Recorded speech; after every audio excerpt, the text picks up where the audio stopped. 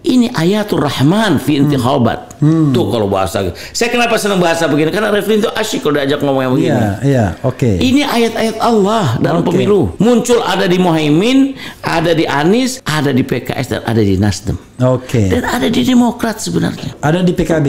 PKB ya tadi Muhaimin itu PKB. Ya, tapi dua-duanya lah disebutkan. Iya. Iya. Oke. Oke. Apa yang terjadi setelah itu? Saya terus secara pribadi masih ingin merangkul saudara saya dari P, dari Demokrat.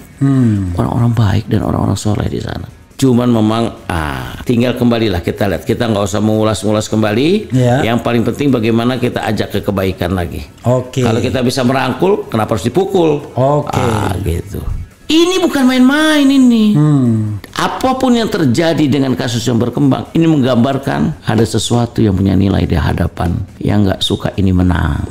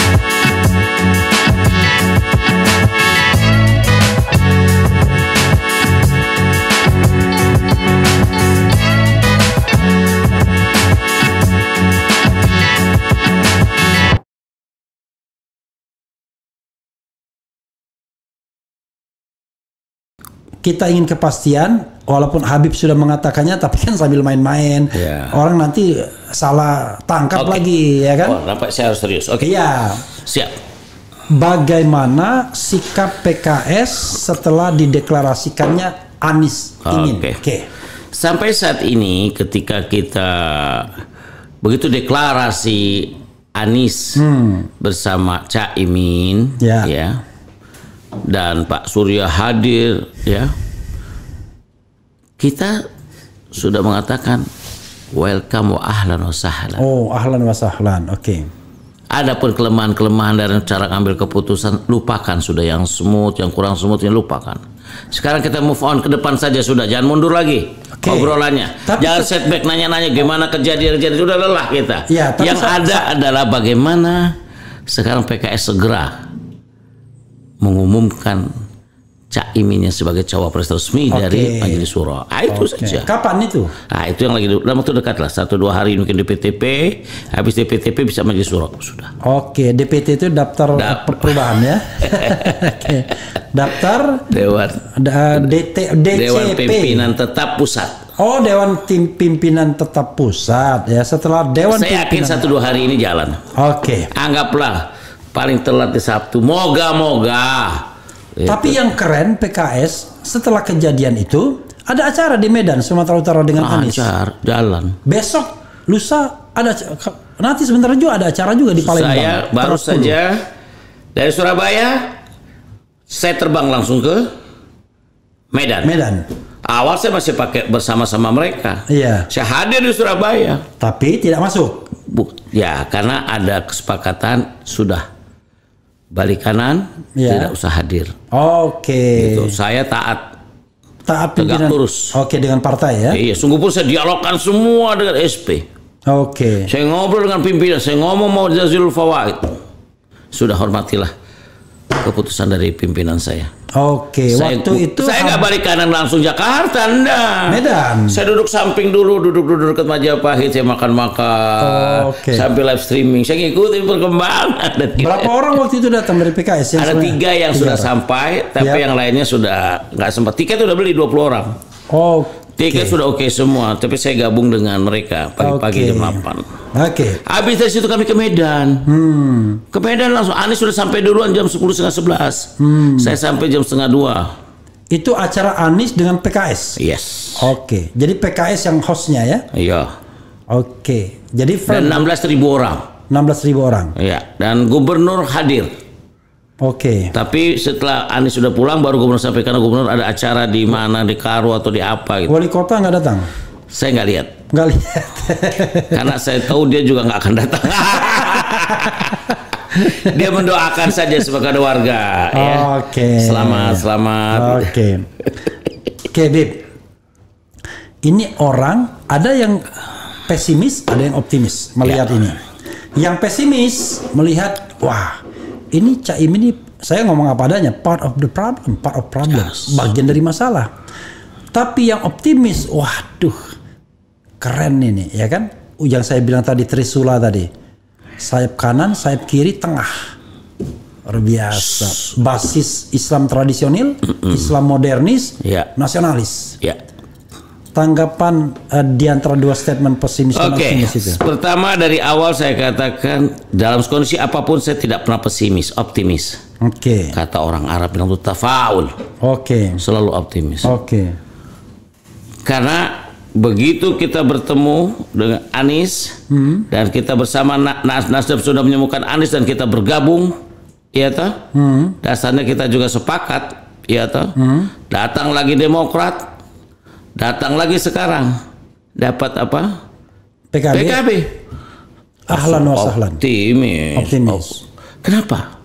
Karena ada satu nuansa yang berbeda. Oke, Marketnya beda. oke, Ada market Jawa Timur yang nggak dimiliki oleh kita. oke, Karena 30 persenan lebih kurang oke, Jawa Timur milik mereka.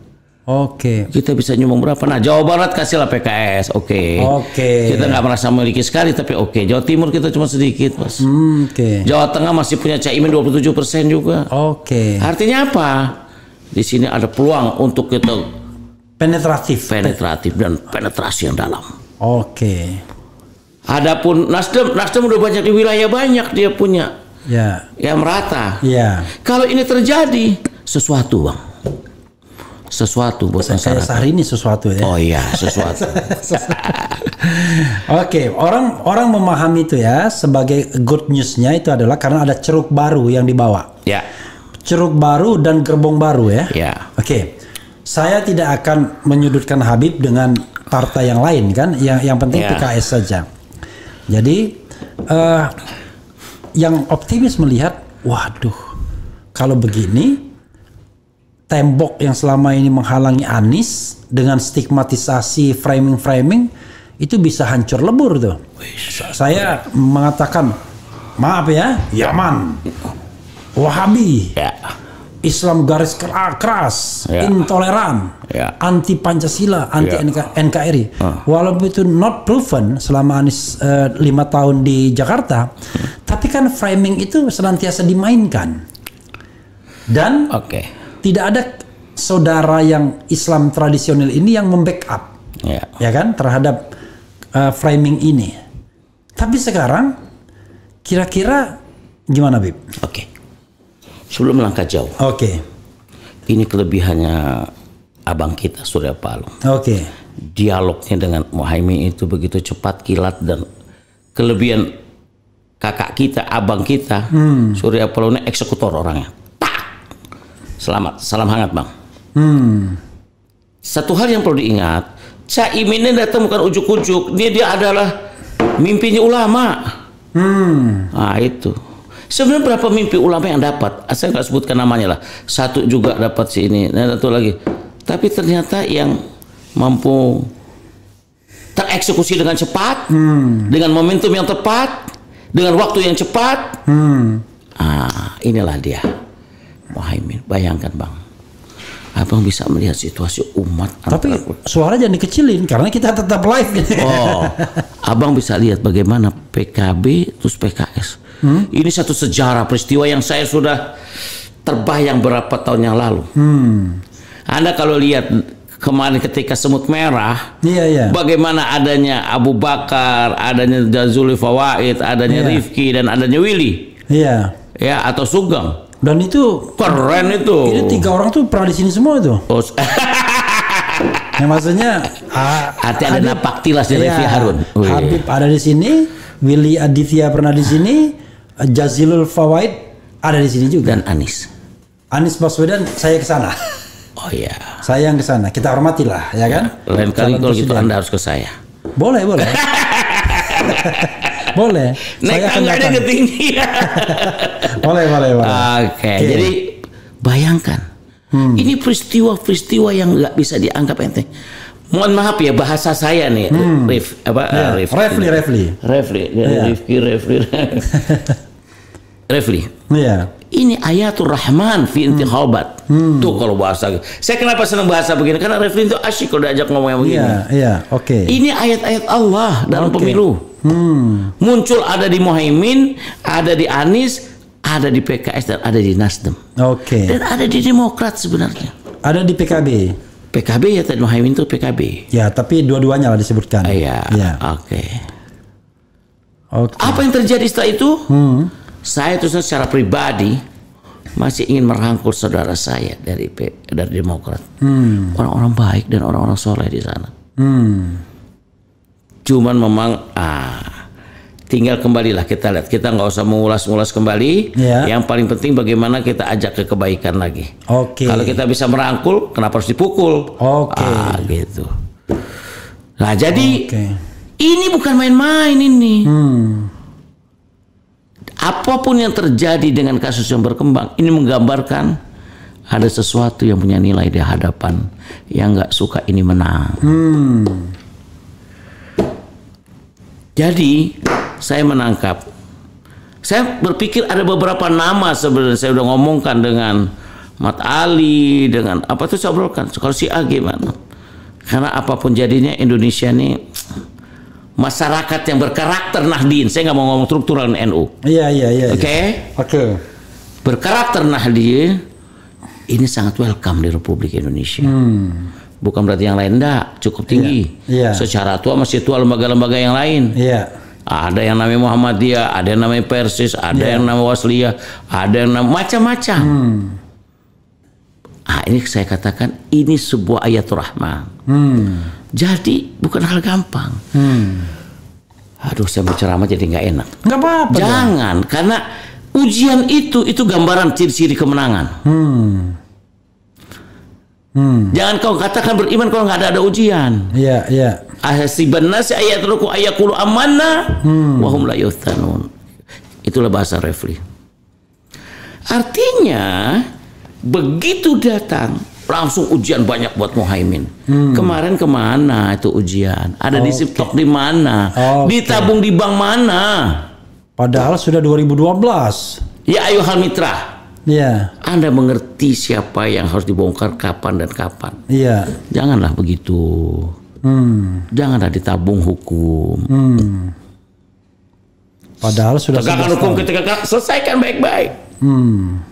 Ini problem kita di. Nanti ini perubahannya akan kita mainkan. Oke. Oh, enggak, kita pakai pantun dulu lah. Jangan terlalu tegas. Mainkan pantunnya biar saya jawab. Jikalau engkau takut ombak, Oke. Cakep. Cakep. Nah, gitu dong. Janganlah berumah di tepi pantai. Oh, cakep. Jika engkau takut perubahan mendadak, Oh, cakep. perlu dipikir lagi jika mau berpartai. Woi, luar biasa. Ngeri, Bung. Ngeri, ngeri, ngeri, Oke. ngeri. Jadi inilah yang saya lihat bahwa ini adalah momentum hebat.